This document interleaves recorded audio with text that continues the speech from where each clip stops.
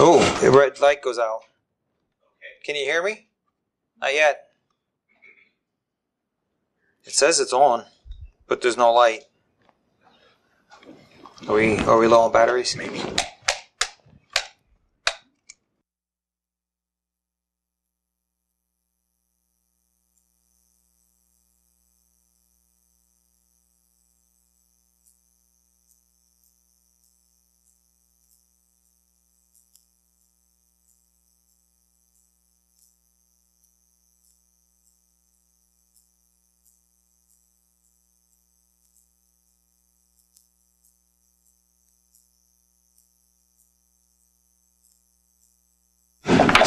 This, and I'm gonna leave this up. Actually. Okay, got we got a good red light.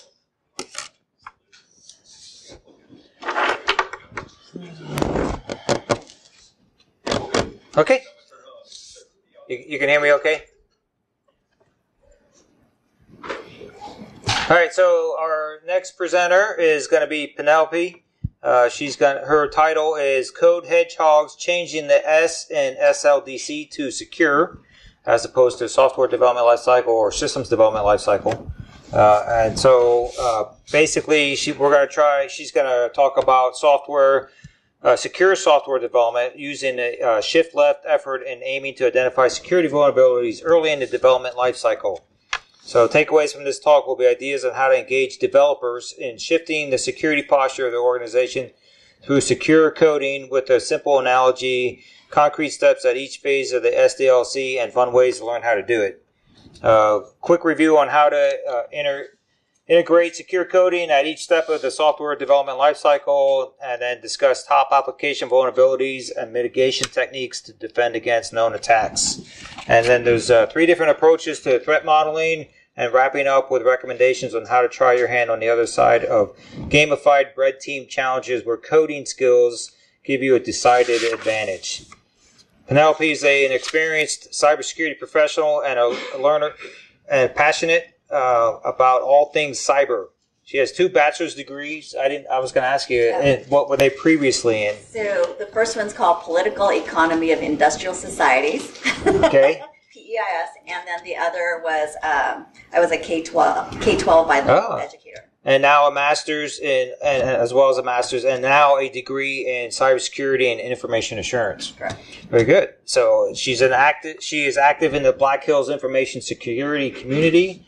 Uh, speaking of, that, are you going to Planning to go to Deadwood. Deadwood? Yep. Okay. So there you go. She's going to give a presentation out a bit. A presentation or No, just just attending? volunteer there. Volunteering there. So um, active. So active with Black Hills information security community and appointed uh, Friends of BHIS uh, designation, normally known as the Nerd Herders. Yep. Not familiar with that one. So, all right. Uh, you might even stumble upon cameo appearances on the newscasts of, of backdoors and breaches demos found on YouTube or Twitch. She's an educator at heart, excited to share her expertise and audiences whenever given the opportunity. Penelope also has her CompTIA Security Plus and CYSA Plus certs, and uh, an adjunct instructor at Northern Kentucky University in their So- Gen Cyber program. yeah. in their Gen Cyber program. So, welcome, and uh, the floor is yours. And then, oh, not putting any pressure on you, but when you're done, we have lunch. Right. so hopefully I can keep you entertained long enough to. Uh, okay. well, I was expecting 30 minutes, so let's see how this goes. So you may have noticed he did not say my last name because it is Rozhkova, and when people see it, they are just like, I don't know what to do with that. exactly. and um, so I married Russian, and uh, I've learned a little bit about the uh, Russian culture. And in Russian, the word anecdote kind of means what it means in English, but it is more like what we use for like to tell a joke. And so that's actually what I want to start with today and give you some insight into why I said uh, code hedgehogs. And so this, uh, let's see, go here. See it.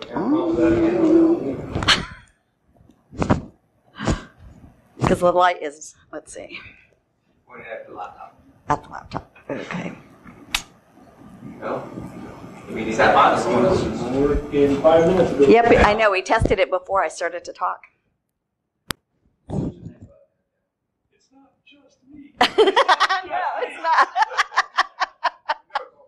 All right. So let's see. Yeah. So the, the pointer's working. There it goes. So go backwards. Oh, there it is. Okay, there's the board. All right. So uh, apparently. All right. So my Russian anecdote. So there's this group of mice who are chatting among themselves and they say to them they're talking about like how they have this terrible position in life. They are at the um, bottom of the food chain. They don't like being there anymore. What can we do about this problem that we have about being at the bottom of the food chain? And they're just like oh, we can't figure it out but i bet you that wise owl can give us an idea. So the mice head over to the owl and they ask the owl and they explain their situation about how they don't like being at the bottom of the food chain and what can we do to make ourselves um, less vulnerable. And they uh, the owl says ah, that's a good question. Let me think about that for a minute. And the owl says i've got it. You can become a hedgehog and the mice are like, oh, that's a great idea, isn't it? We have uh, quills. If we're hedgehogs and we can roll up in that ball and, you know, we're not going to be as easily to be grabbed by those mouths because our quills will like protect us. That's a great idea. Let's become hedgehogs. And so they walk off and they're so excited and they're just like, oh my gosh, I want to be a hedgehog. Let's do it. Let's do it. And they stop. and They're like, wait a minute. He didn't tell us how. How are we supposed to be hedgehogs? And so they're like, okay, well, we, let's go back and ask him. And they go back to the owl and he's just like, yeah, of course I didn't tell you how to be hedgehogs, you know? Like, I'm the idea guy. You go figure out how to be a hedgehog.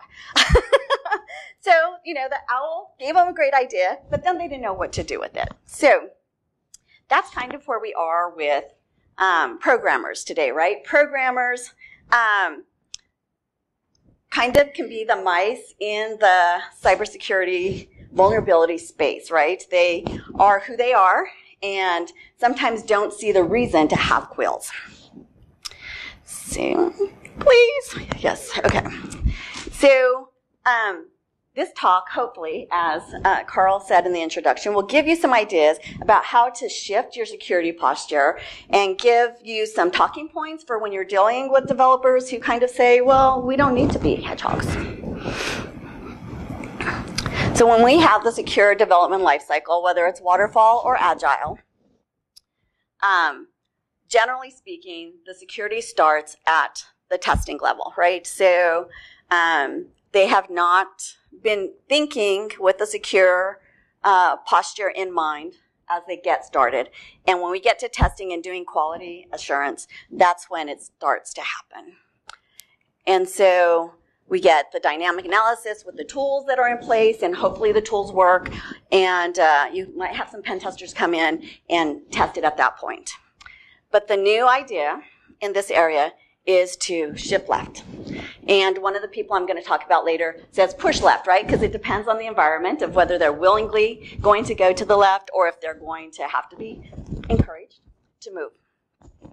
But we can start at the beginning and we can look at our documentation that we have in place that is probably in your risk and governance and figure out how to start this project with the planning um, to begin with.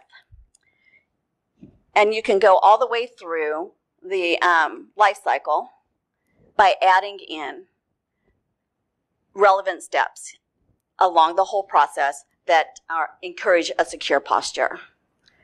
And so that by the time you get to that testing, um, that quality assurance level, you've already been thinking about it. And the thing is, when you start early, then it's more cost effective, both in terms of time and money. And then you can move on and make sure that it doesn't just stop at testing, but it is also included in the other steps where you're going to have, you know, when you're in deployment and you have the final security review, you can create that incident response plan and hopefully based on what you've been doing through the previous steps, have it built in there. And then the maintenance part, of course, as well, to have your developers in mind of like, oh, these are kind of the things that are out there. And if the new ones come up, it's not going to be news to them about how this process is working. So along the whole way, you want to keep in your mind, um, like the threat modeling process and adjusting your priorities and risk reduction st- strategies as you move along. So it can be a much more dynamic process. So where do we start, right? So if a developer's like never really had this education, um, when I gave this talk to like a group of students who came up through um, Tech Elevator, and they said, "Oh, we only got one day on security," and so you know it's a 14 week program. It goes fast. They don't necessarily know what that means to secure to code securely. So you know, start you know start with something that's out there, well established. And if you look at these top 10, like nine of them are things that developers could help with, right? Like the insufficient logging and monitoring is like the only one that is not kind of in the programmer's wheelhouse. And you can introduce them to the website. You know, you can take them there and, you know, pick something to show them off your list and take them through the page. So, um, and if you're in, a dynamic situation. I was not going to challenge the demo gods um, and try and do anything live. uh, but it breaks it down. So it gives you across the top the threat agents and attack vectors for broken authentication. It gives you the security weaknesses and the impacts of having broken authentication if it's not something that's in the forefront of their minds.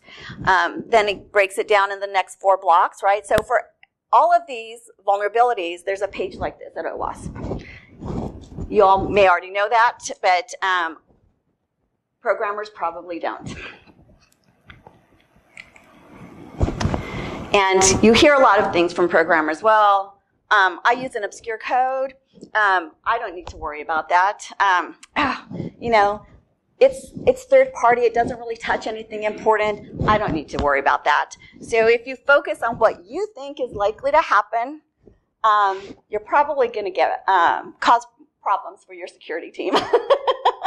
But if you instead focus on what can happen and be prepared and if you start with that process as i said from the beginning with that in mind like we don't know what's going to happen. We don't know who's out there who wants to um, attack us, then we need to think about what can happen and not what's likely to happen.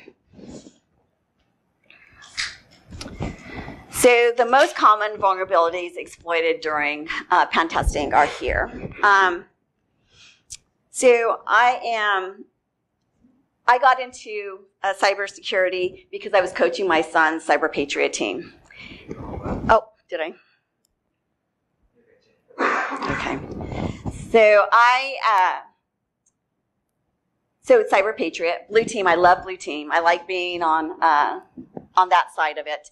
And he, when we first started the team, we went. My first event was BSides Cincinnati in 2018, and I played the CTF there, and I just fell in love with cybersecurity. And so that's how I moved from education into cyber because I when I my my new choice. My son decided I was a homeschooler. My son decided to go back to brick and mortar. I was like, what am I going to be when I grow up? Now I get to choose, and this was like the automatic thing for me because I just love it all, I, and I love the gamification, and so uh, I am not a coder. One of the first things that I learned in my program was that coding can be really important in cybersecurity, right? Like high school, so I'm kind of the same age as Phil and, and uh, Dr. C here.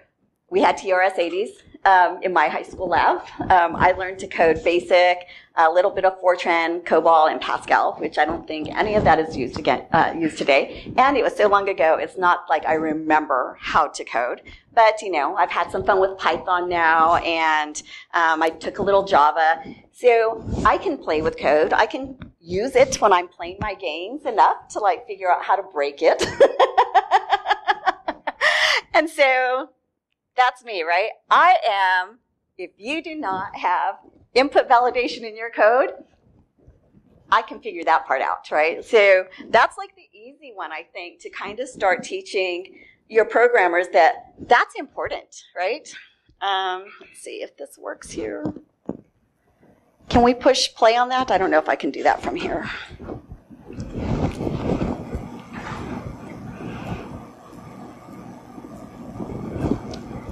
The square. You guess which spot that goes The square. That's right. It goes in the square. Yes. Okay. And how about this rectangle? That one Also the that square. goes in there too. Yeah. It was working. Up next, you've got this thin rectangle. Guess Rectangle. where that goes? A thin That's right. It goes in the square hole. and then the cylinder. The circle. I think that goes in The circle. the square hole. Do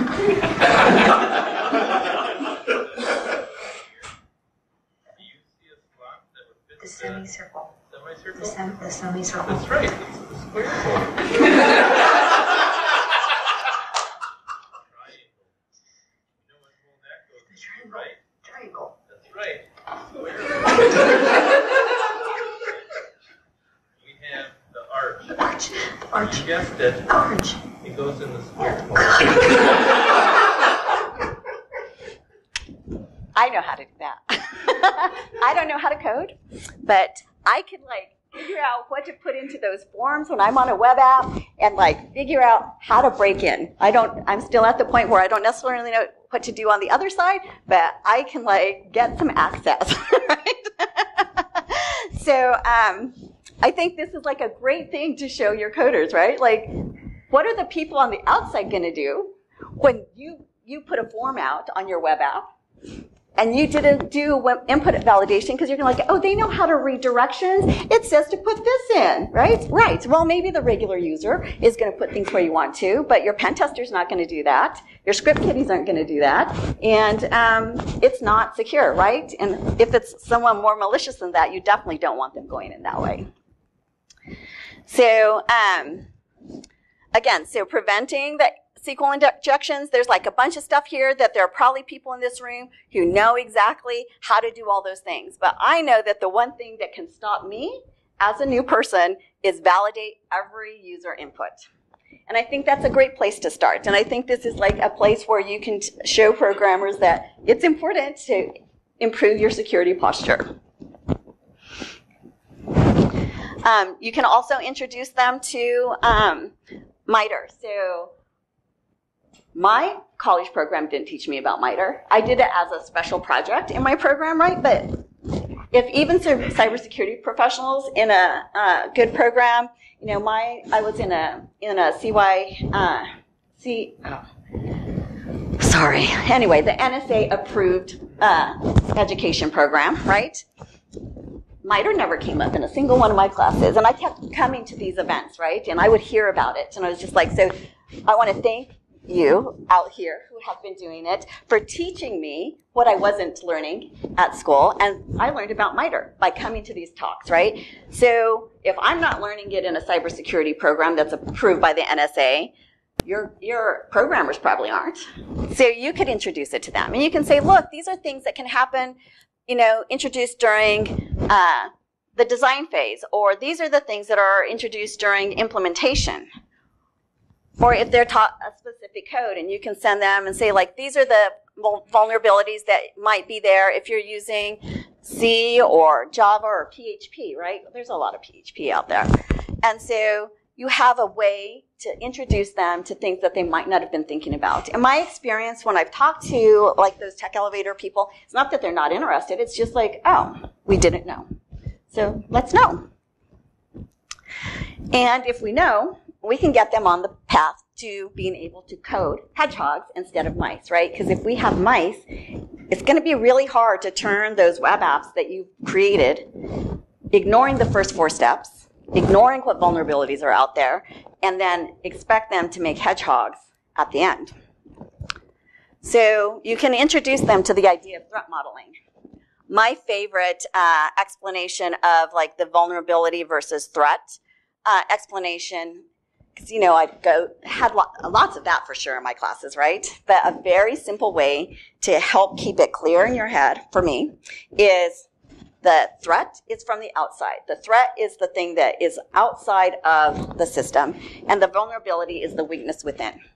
And then risk is the intersection of the two. So I think when people can look at it from that way without all of the long explanations of, oh, these are, this is a threat, blah, blah, blah. I can't even remember what those classroom ones were, but I know it was a lot of words. but that has really helped me. When I learned, when I first heard that explanation, it's just like, oh, it's suddenly clear. So let's make it as simple as possible for them to kind of understand what are the things we're looking at. So then we know what our, you know, hopefully we have some ideas from the things that we just discussed, what some of the vulnerabilities, the internal things are that could be weaknesses of what we are uh, coding. And then let's give them some insight into what the threat model, I mean, what the threats could be. So it could be attacker centric, right? Do you work somewhere where um, uh, industrial espionage can be a problem? Do you work somewhere that you're somewhere in the supply line that it could be like, you know, classic espionage that they might want to use your third party to access um, something that's a little more uh, classified or up the uh, international food chain? software centric. Again so we talked about like what are the platforms? What are the components of this of the um, application that you're building? And have a sense of like what are the weaknesses in your um, components? And then asset centric. Do you have pii in there that people want to get access to? Do you have state secrets that you know somewhere down the food chain like that you could get access to and so giving them a sense of like these are the thoughts that are going through the attacker's minds and what comes up to the surface for what you are creating. So it gives them the background to understand that, you know, how do I identify the known vulnerabilities, the threats? Um, how do I understand these risks? And then they can go on and like start deciding like what security controls besides input validation, right? Which should just be automatic that they should put into place how do you uh, prioritize those risks within your organization, right? That's not just, you know, the conversations, kind of like what um, Micah was talking about. I, I don't know if um, uh, Dr. C like knew what I was to really be talking about because I just sent him my slides, but he, I, I love serendipity, right? It's just like, oh my gosh, like my talk, I think is to make so much more sense coming after Micah. I could not have planned this better. Uh, thank you so much. and he was blessed, right? He had somebody in his organization um, who was a security person who had um, that web app background.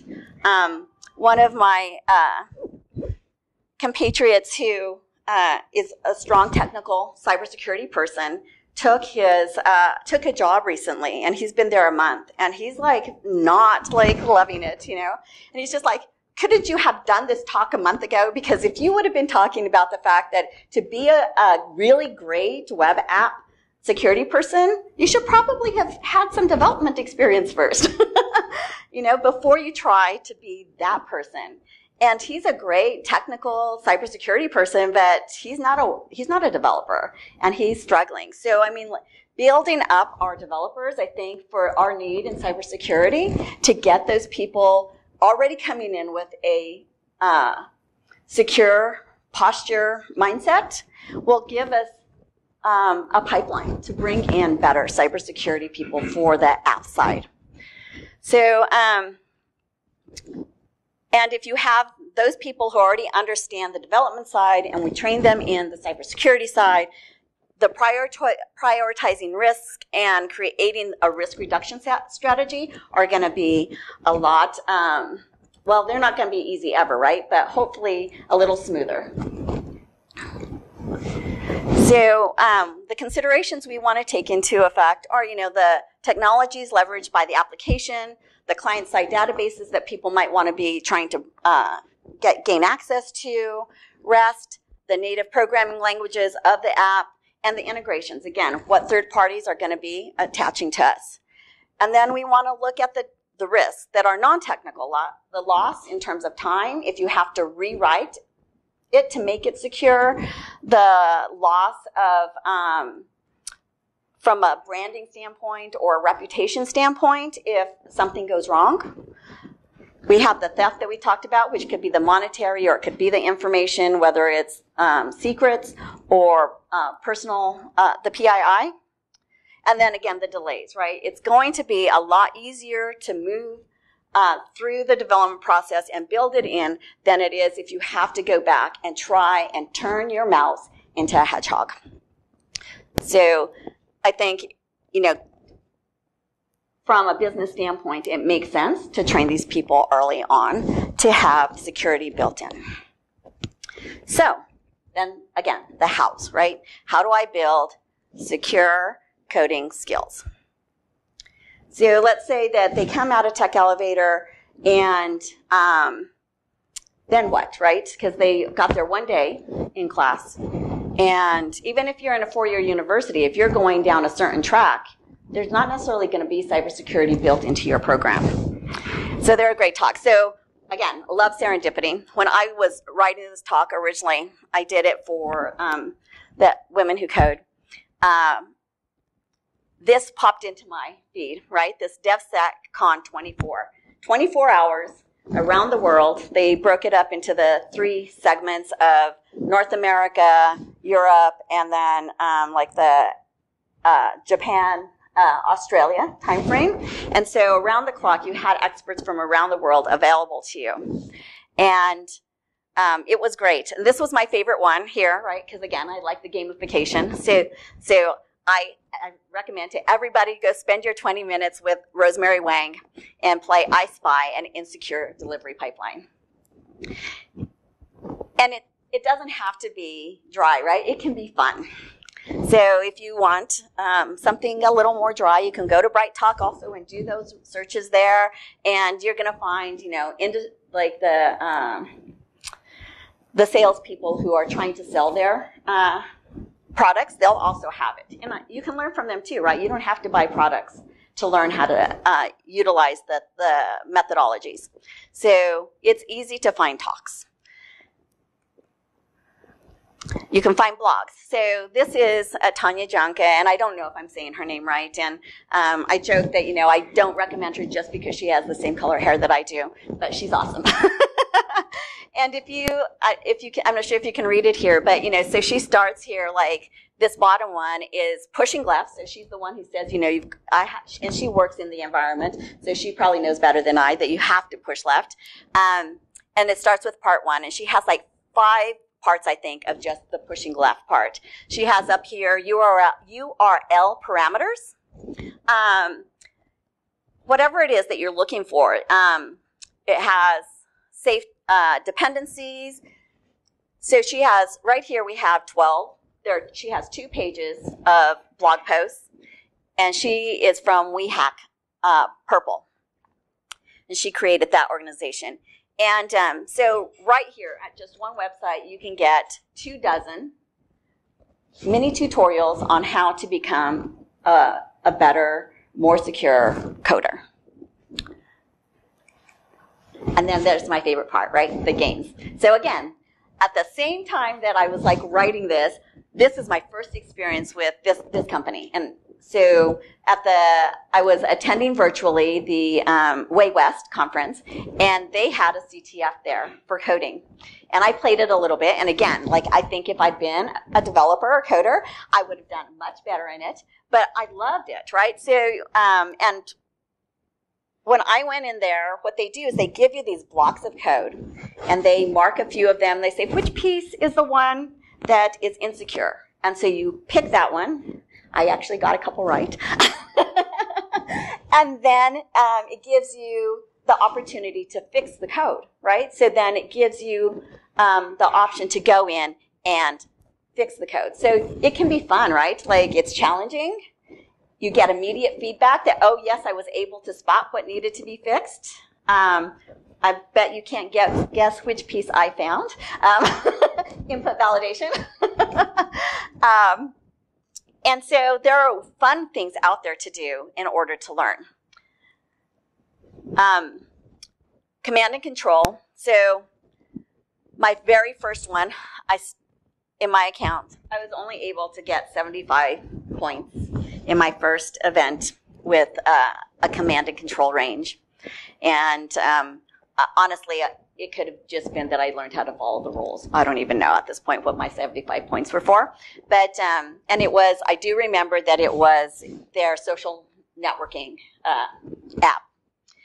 And so over time, so we can learn, even I can learn, you know, not being a developer, how to improve. So this is my most recent score, right? I think it probably goes to 12,000 or something, but I'm really proud of my 3770 um, compared to my 75 that I can learn uh, how to break the web apps, right? So again, I'm not the developer, but I can learn more easily how to break the web applications. So um, if you're a developer, if you wanted to go to the red team side, you're probably going to be way awesome because you're going to know what other things you can be compromising that I don't know because I'm not on that side of it. And it's also, if you're going to stay on the development side or do the blue team side, then you know what people are using to get into you. And so BHIS actually buys um, the command and control when they retire. And that one's not free, right? So for $30 a month, you can play inside of their cyber range. But not only do they have the old web apps uh, that you can play with, but they actually have lessons built into it. So it teaches you what you're looking at at that web app. It teaches you how to compromise it. And so you can build it in a supported uh, environment. So, uh, you already heard I have a huge bias towards uh, Black Hills um, because I've learned so much from them. And so this is like I think a great opportunity. Um, and you can go on the website. You don't have to like pay the thirty dollars to see what it's like, right? You can go in there and poke around a bit and see like, oh, is it worth my time? Would it be worth time for the people in my environment to spend some time here? So. Um, I think if you use some of the tools that I'm suggesting here, maybe you can be even better than a hedgehog, right? Maybe you can code a porcupine instead. Um, so again, that same week when I was building this, this job came through, right? And I was just like, I can't apply for this job, right? But a developer who's been through that other training, they could probably apply for a job like this, right? Like if you code securely and you're, um, you have that mentality of a secure position, then when these jobs come up out there that we have a huge need for, we can kind of like piggyback on that coder pipeline, right? And um, have our pipeline filled so that these jobs can be filled. So I'm open for any questions. Okay, so questions.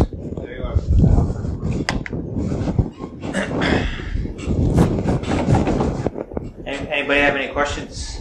Be back here. Todas- yes, You were talking, uh, when you're talking about scenarios, are you focusing on like all case scenarios or just worst case scenarios? When I'm like for the developers, Yeah. I think that they should focus on all scenarios, right? You know, and then there's always time and money, and there's the balance, right? Because that's where you get the pushback, right? But I think that the uh, oh, and I didn't mention back when I was going through the slides, but I think that as if you can have a system where you, the posture and the mentality is already, I want to secure code, code securely, then um, you're going to be able to broaden that a little more easily, right? Because it's going to be already within their bandwidth, right? Like, so if some of the input validation is just automatic and they're doing that, then that gives you room to like add something more, right? And it's also going to save time. Again, when the person who's doing the, if they, it's a big enough company and you have that specialized person who's going through and saying, ah, you missed this, you missed this, right? If it's, and not having to have it be sent back. So I think if you um, have that mentality, it's easier to do more than if than if you're starting from zero. Any other questions? We got any online? No, we do not. No, not yet. Okay. So I, I have some stories that uh, obviously uh, through my many years of cyber experience, coding, hacking, pen testing, all that good stuff. I've been doing this for over 30 years. Uh, so one of the stories when you talk about secure, oh, by the way, I love that video. That was great. all those different things going into square block. Yeah, that's right. But one of those things, right? When when I talk to developers uh, through some of the stuff that I've been dealing with in the past, is that uh, you know a big, great example is the is the zip code field, right? Yep. So you ask them, okay, put in the zip code so they design it right. They don't do any of the input testing or validation or any of that kind of stuff. And so you put in four five four three one the area code here uh, in the area, but then you're like, hey, well, what about letters and numbers, right? So uh, when they're developing this stuff, they should be only allowed to enter digits and not alpha alphabet letter, Right. or the, the Oh, yep, letters. that letters, yeah. Um, and, and so, you know, those are one, ways to test it. So I know uh, Daryl's got some great stories that he's told through the years with putting in percent X and some other things in the input fields. And, you know, the other one is uh, uh, Bobby drop tables is another great example. Uh, Yep, I know how to do that one. Question in the back. Go ahead. are in one section of the U.S. Army, and you have Alpha. There, And where? you was that in Maine? Really? Never heard of that before. Well, So, they get into them, huh? yes. Are you going to exclude Canadian customers? No, no, I'm just talking U.S., right? Yeah, no, no, no. I'm, I'm talking U.S., right? So when you're filling out and you get because it's a U.S. address, you know that's where the Right. zip codes are usually. I mean, uh, that's the you know now expanding out into the international. Well, that's that's a different requirement. But again, right, based on that input or even phone numbers, right? You know, how many times you fill out a form and you type in you know, extra characters in there. Um, they're getting better about it because now it rejects it. It says digits only. You know, you can't even put in the parentheses for the area code and, and the little hyphen for between that. So they're getting better. They're getting smarter. The, the words are getting out that you know this development is should be, you know, doing this secure coding earlier in that development process. That, that Well, that's right, right? Like what you're saying, if there's a check, right? So, like, um, if it says Maine as the as the state, then it will probably, you know, the coder can write it so that it skips that uh, validation and maybe jumps to a different validation. And the same for the international. Like, you know, there are ways that the coder. I mean, that's you know, that's the Yeah. point, right? The coder should be able to like Well- think about what is that person going to try and stick in there, and how do we keep them boxed into getting just what we want to get from it. Yeah, I mean, there, there. I mean, back in my early coding days, right? It was let me get it done to be able to turn in or do the do the job, right? I'll go back later and fix it, right? Sure, right? You've all heard that. We'll go back and fix that later when it goes to production. And what ends up happening?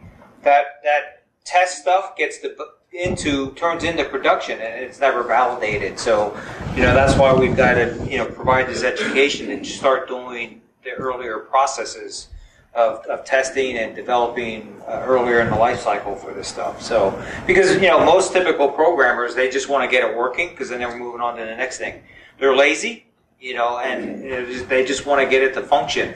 And it's like, why would anybody enter something in anyways? Because it says to put in a zip code. Why would you put anything different in there, right? Because Yeah. that's the way most engineers, programmers, people think is they, they want to get it done. Mike, you have a comment? I'd like to offer a friendly challenge.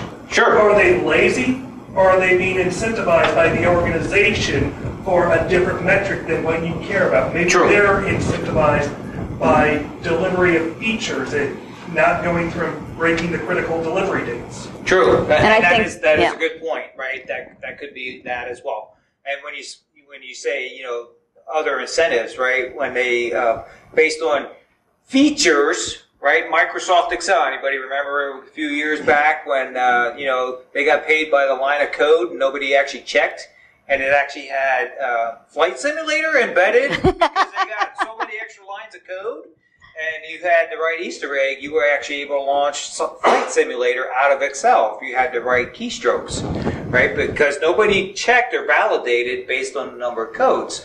It- Was that was that on purpose? Well, sure it was because got nobody was checking, but that's an input validation. And let's do some like libraries within your organization, right? Because I think um, Micah makes a very valid point, especially when you're looking at some of like the agile, and you know you have your two week sprint, and you have to get certain things done in that amount of time. And is that my priority? So building that secure posture as part of your culture is crucial, right?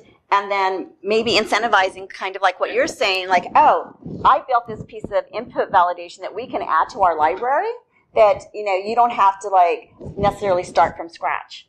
And so within your organization, having some templates in place that people can use for things that are done often. Yep. So, uh, any other questions, comments?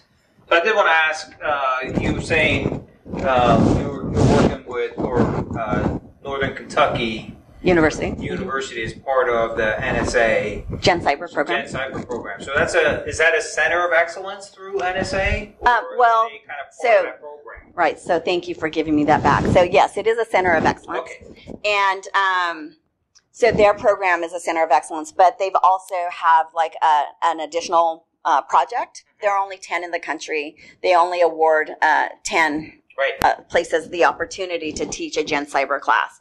And so um, Dr. Anker, and um, he lets you just say Dr. Anker because his last name's harder to say than mine.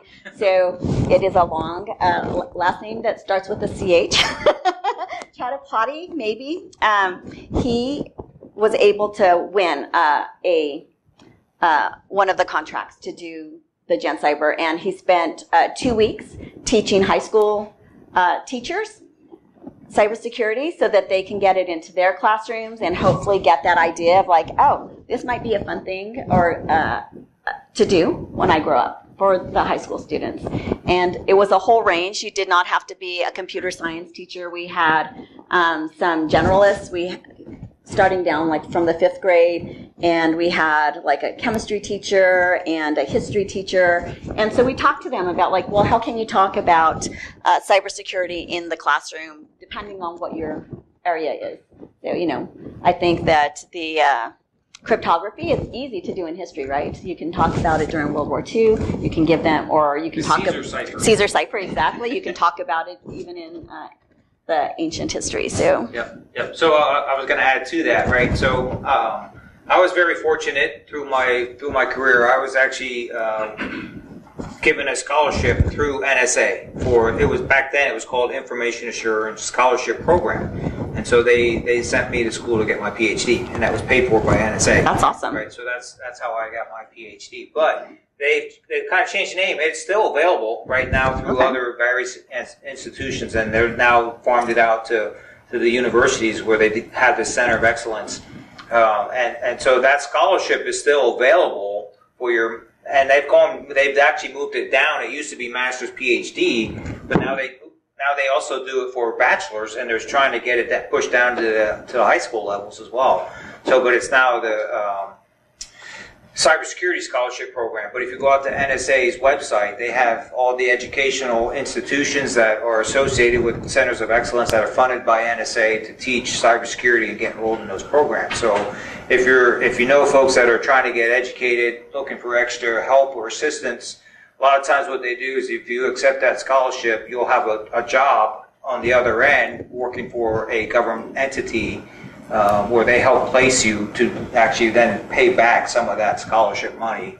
But you're doing work in cybersecurity, right? You get your degree, they pay for it, and then you go, and then they, they give you a job. I'm like, I mean, how often do you get to do that kind of stuff? So That's awesome. Uh, it's it's really a great program. So I am a beneficiary of that, and so one of the things that I try and do is actually also promote that because um, one of the clauses, so, so to speak, uh, was to help advertise or promote right the NSA scholarship programs.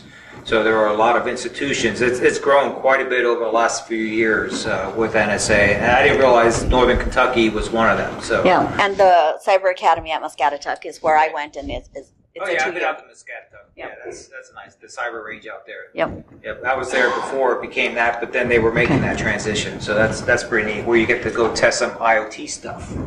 So Smart a house. nice IoT range out there Indiana. So that was that's pretty neat. So if you get a chance to do that.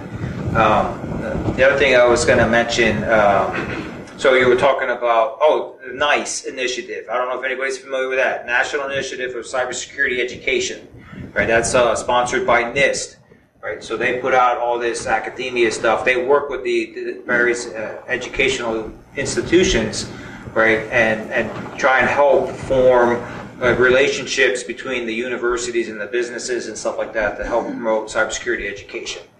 So that's a, that's another avenue. If you go to NIST, uh, look up NICE, National Initiative for Cybersecurity Education, along with NSA. So that's another avenue to look for for like scholarships for, for people trying to get you know bachelor's, master's, PhDs in, in cybersecurity, and then also the you know they help partner with uh, them placement afterwards for, education. So it's uh, here in here in Dayton, uh, we got Wright State and UD, and uh, they they also have cybers. I was uh, adjunct uh, over at Wright State. They have a four plus one program where you go in your senior year, start taking classes for your masters. You do the four plus one, and then you come out with a master's in cybersecurity.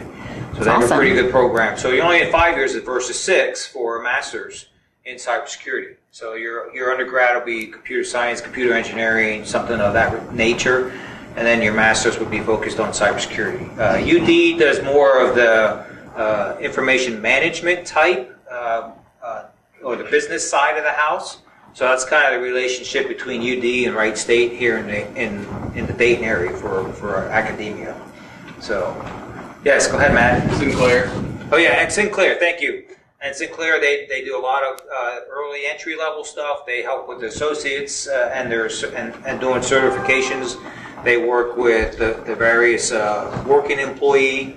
Uh, so a lot of their other classes are geared towards the, the working person. So they're they're either online or at night. So you can you know work towards getting your either your certification or your associates, and then transfer to Ohio State, Wright State, UD, University of Cincinnati, Kentucky. Now, so um, a lot of, a lot of educational opportunities. But you know, this is stuff that uh, is is very critical, uh, and you know, you- hopefully, you, as you continue to do this, because you started in in education, Yeah. right? Transitioned into the cyber field. Right, but these are different avenues that you can use to help with that whole education. And there are more programs coming out that um, are targeted at them. Like uh, NKU has just recently added, I don't think it goes live until October. You can start your certification process there, and then you can work towards your master's once it goes live in October. Yep. So, all right. Anybody? Yes. Go ahead. information Yes. Yes. Cedarville is part of. Uh, they are one of the. They were. Uh, I did a NIST, a NICE conference with NIST a few years ago in Cedarville. Yes, they they did have uh, some classes down there that were part of the. Um, I think it was associated more with NICE, not necessarily NSA.